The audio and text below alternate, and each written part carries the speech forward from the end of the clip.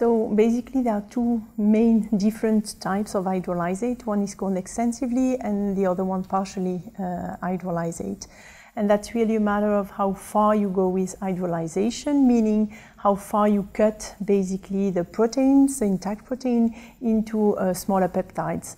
So in extensively hydrolyzed, you really cut it down very small.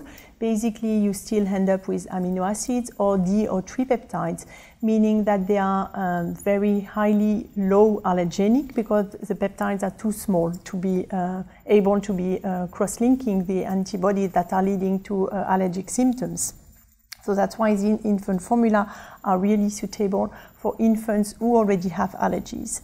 On the other side, you have the partially hydrolyzed uh, infant formula, where the hydrolyzation is, is different, so different enzymes, leading to a different size of protein and sequence for sure of proteins, meaning that they are still quite large peptides being able to induce some symptoms in some infants. So that's why they are not suitable for uh, infants who are already allergic.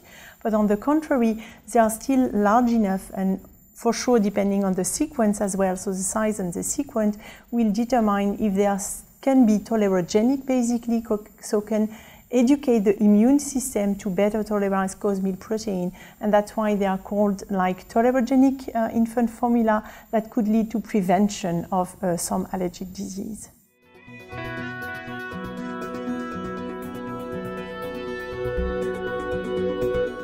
So that was the kind of simple view that we had at the beginning, thinking that only the size is determining if it's only low allergenic or low allergenic plus tolerogenic.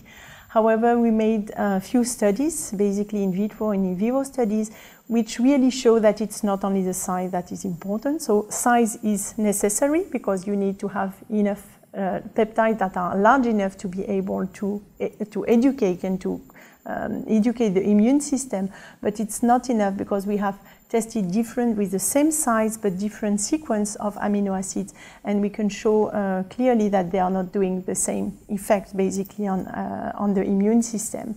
So basically it's both size and uh, sequence of the peptide that are uh, important and probably and that we don't know yet something other in the in, in the infant formula can be lipids can be um, carb yeah, carbohydrates or whatever that can, or probiotics as well, that can also add on the top of the peptide some uh, beneficial effect in the immune response. So that's um, kind of a complex, actually, uh, concept, but uh, that's why it's very important that it's, it's uh, verified afterwards in humans, the beneficial effect that is really showed in humans as well.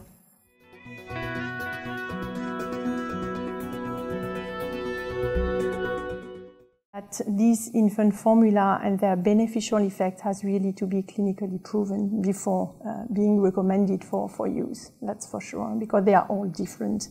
Basically, it's not that easy. It's not just cutting protein into pieces. You have to have the right uh, pieces at the end to, to have the beneficial effect. And that's the only way to show it really is to do clinical trials, prevention clinical trials.